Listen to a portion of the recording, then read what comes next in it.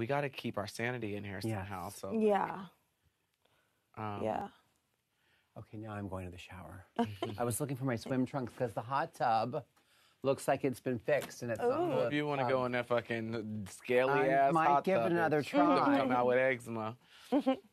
um, Well, I appreciate, you know, I mean, you're going to, you know, if you win tomorrow night and you have to make, you know, a decision and I'm going up or whatnot, I mean, I would, but I already gave you my word, and I've never broken that. And I'm telling you right now because I'm still trying to build block. I mean, at this time, like I feel the same way as you do. I don't feel like anybody else has my back but Miesha. And if she's Sure. gone, then I need relationships in the house. and Sure. I didn't come here to play Miesha's game. That's not what I've been doing this whole time. I've been trying to be loyal to my team. I thought we were in a four as well. Yeah.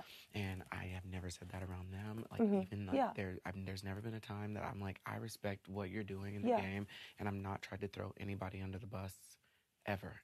And I just want you to know that because I I feel like I am always trying to like, for whatever reason, prove myself to you because you're somebody that I really do fuck with, and I just wish that you we could get out of the house and you could be like, damn, he's like really riding for me, like. Yeah. And I don't know why, but I just am. That's Yeah. just how I feel. So like. Yeah. And I hope that even if Chris Kirkpatrick and I aren't seeing eye to eye, that he would confirm that for you and be like, every single time we're in the room, like, it's me that's fighting for you. Like, Yeah, not yeah. necessarily him, you know, Yeah. not to throw him under the bus, but it hasn't been him.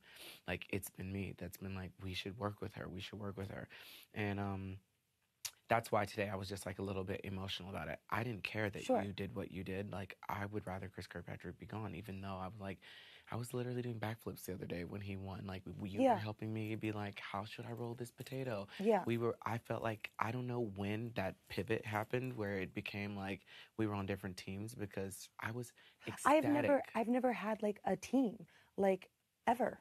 So it's not I know like, there were moments where we were in a room and we were like, okay, I feel really good about this Final Four. We didn't give it a name, but you were definitely present, and so was Miesha, and so it was Chris. Yeah, I just felt like you were so close with her, Todrick, and I just didn't feel like I was even even Chris. I felt was close with her, and I just didn't feel like I was being included in anything, and not being included, and just sitting down here, and they are super close. Do you know what I'm saying? Like I know. they are. I just wish Those that even if are, you didn't know, talk to to Miesha about it, that you would have talked to me about it because I've kept all of our conversations. Yeah, I private. was trying. I was trying to, but it's like, and then you know, it's like just sitting there. I would see you two like whispering or like being BFFy, and it's like, okay, like that's you know, like okay, and I just like, what am I supposed to do? Like, and like, I love, I love Cindy, but she's not good competitions. I need someone like, I need someone. I get it. I was not mad at you about what you did today. Yeah.